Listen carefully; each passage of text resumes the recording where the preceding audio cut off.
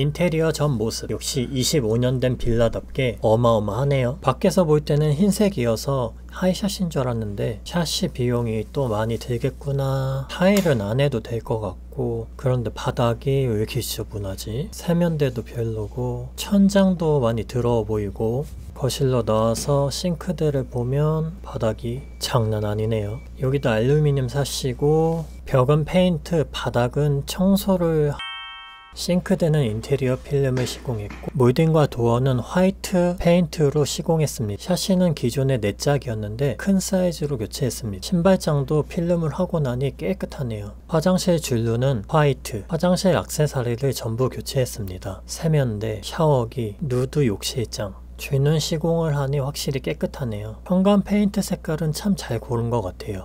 보일러까지 바꾸니 완벽하네요.